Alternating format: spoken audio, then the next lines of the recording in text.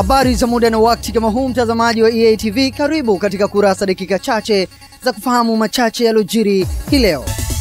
Wabunge kutoka katika bunge la Jamhuri ya Muungano wa Tanzania wanaowakilisha katika bunge la Afrika Mashariki wametakiwa kufahamu vyema majukumu na mfumo wa kazi pamoja na maamuzi katika bunge la Afrika Mashariki ili kukabiliana vyema na changamoto ambazo hujitokeza katika vikao vya kujadili mambo mbalimbali ya husuyo jumuiya.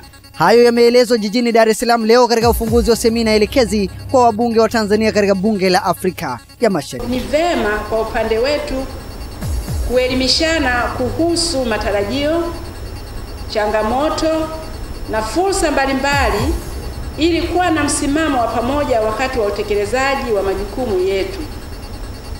Hivyo semina hii ni mojawapo ya nyenzo muhimu itakayowawezesha wawakilishi wetu kwenye bunge la Afrika Mashariki kutekeleza majukumu yao ipasavyo ya uwakilishi, kutunga sheria na kusimamia utekelezaji wa mkataba wa Jumuiya ya Afrika Mashariki kwa kuzingatia maslahi ya nchi yetu. Sheria ni hii hapa, imetungwa na bunge la Afrika Mashariki. Mambo yanapokubaliwa na yakaiva katika Jumuiya ya Afrika Mashariki, basi yanatungiwa sheria ya Afrika Mashariki. Sasa sheria yetu ya forodha hivi sasa, hakuna sheria ya Burundi, Tanzania, wapi. Aa, sheria ni ya Afrika Mashariki. Huu ndio msahafu wake. Kilikuwa kipindi kigumu kwangu mimi na wenzangu kwenda kusimama kuomba kura ndani ya kadamnasi peke yake ni vigumu, lakini kwenda kuomba kura kwa wabunge ni ngumu zaidi, wanasema waganga.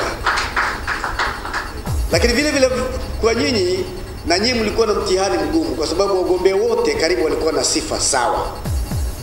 Sasa umchagua nani, umwache nani, kwenu naye ilikuwa ni mtihani, lakini mliamua, mlivyoamua. Tunawashukuru sana sana kwa niaba ya wenzangu.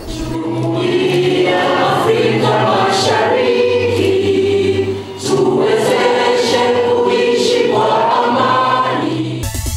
Tuendelee na kurasa.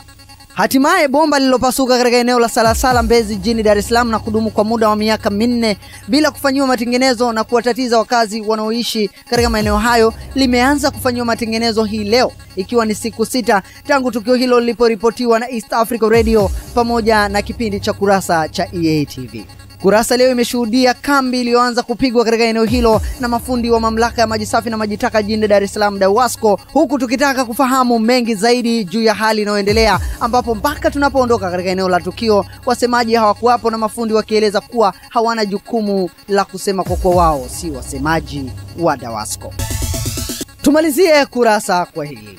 Waendesha bodaboda katika eneo la Goigi Mbezi Beach jijini Dar es Salaam wamelalamikia hali ya kuathiriwa na shughuli zao mbalimbali mbali za usafirishaji zinazosababishwa na ujenzi wa barabara ya Bagamoyo iliyopita katika eneo hilo inayoendelea kwa hivi sasa.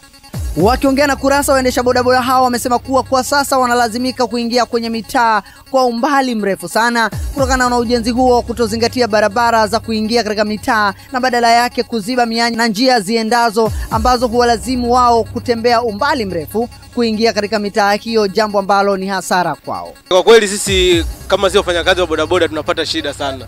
Hiyo iliongea ni swali la kweli, tunapata shida sana kwa sababu hapo ukiangalia hapa, tunaona hapa tulipo tunabidi tuingie hapa, inabidi tunazunguka hadi kule samaki, ni mbali sana. Tuki, kama tunaingia huku tuingie mpaka kule super, ndio tunaingia ndani ndani huko, sababu mzunguko unakuwa ni mkubwa sana, tuna unatuasili sana.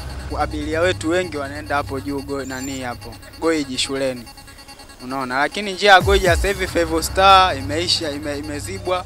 Ukitaka kwenda Mbezi, shule ya Mbezi imezibwa.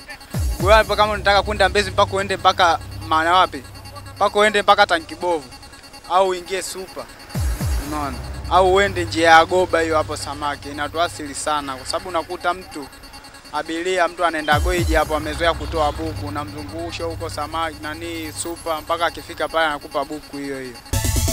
Tumekufungulia na kufungia kurasa kwa hayo machache yaliyofika mezani kwetu kwa leo. Kesho, je, kuna ni? Tafadhali usikose kuangalia dakika chache za kurasa. Kwa niaba ya wote walioshiriki kukuletea kurasa, mimi ni Noah Laltaika.